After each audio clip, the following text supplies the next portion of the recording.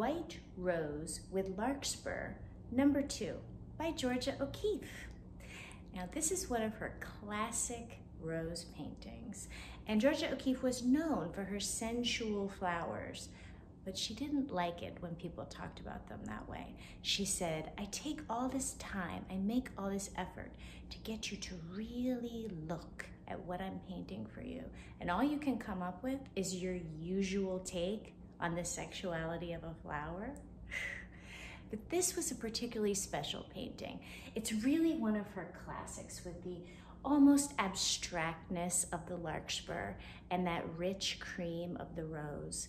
She gave this as a gift to the Museum of Fine Arts Boston, who went to her house in New Mexico. They had always wanted one of her classic pieces. This one's from 1927. She was 94 when she gave it to them.